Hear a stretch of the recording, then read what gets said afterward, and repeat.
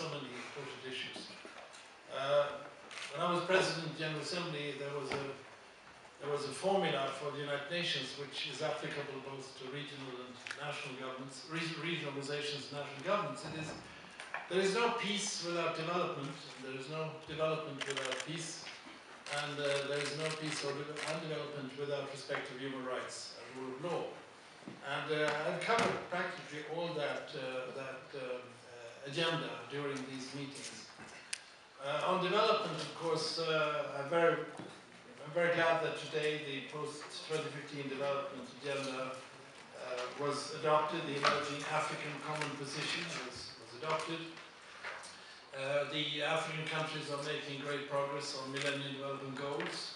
Uh, this country, Ethiopia, by the way, is uh, aiming to achieve six out of the eight Millennium Development Goals. Uh, there are still many, many, uh, many things to do I think there are particularly problems with the area of water and sanitation and, uh, and uh, health, maternal health. Uh, by the way, I'm visiting a, uh, a water and sanitation project outside Addis before I leave tomorrow. Uh, I need to also see uh, the field activities. Um, I also want to remind everybody the importance of the issues related to agriculture and food security. This was the one of the main purposes of this uh, summit, and uh, uh, I was glad to see how much progress was made on that front. and also in that context, the role of, of women women's empowerment in agriculture, as I noted, as a special feature. Um, before I leave the development area, I also want to say that it was uh, very satisfactory for me to have at my side uh, former President John Kufuor of Ghana, who uh, is a special envoy for uh, climate change, together with former Prime Minister of Norway, Jens Stoltenberg. And they are here to mobilize leaders' support for a summit meeting that the Secretary General Ban Ki-moon is organizing on the 23rd of September in New York. And we got assurances from several uh, leaders that they will attend this meeting. I think we're all reminded uh, that nature is not completely at ease with, with what is happening. You see the vehemence of uh, floods, hurricanes, droughts, and it is affecting the lives of people on the ground all over. And uh, we need to take uh, the issues related to sustainability and climate change seriously. On the political front, of course, there are a number of uh, dramatic, dramatic situations. Uh, we follow with particular concern and uh, anxiety developments around uh, Central African Republic and uh, Southern Sudan. Uh, we will institute a program in the United Nations called Rights Up Front, which means that we must act earlier on human rights violations because they can easily turn into mass atrocities.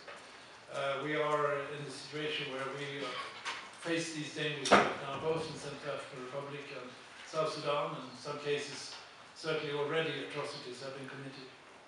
Uh, we have to do everything to uh, stop this uh, process from deteriorating further, and uh, the cooperation with the African Union is absolutely essential in this regard.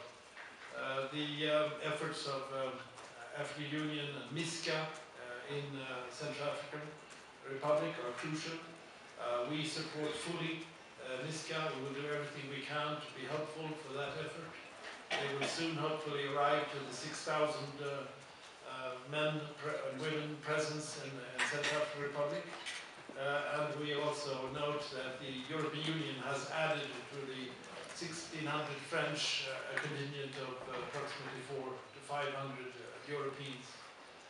Uh, I think this is a sign of the universal concerns around Central African Republic and that security has to be established. But we of course cannot find security or find stability or achieve stability and safety for the population Central African Republic on the, by military means alone. There has to be a political process and uh, we should welcome, and we welcome indeed the election of Mrs. Samba Panza as head of state of the transitional CAR, and the formation of new government. And we will meet with the Prime Minister of the, this interim government tomorrow. I will have talks with him and he will also appear at a pledging conference for MISCA uh, and Central African Republic tomorrow.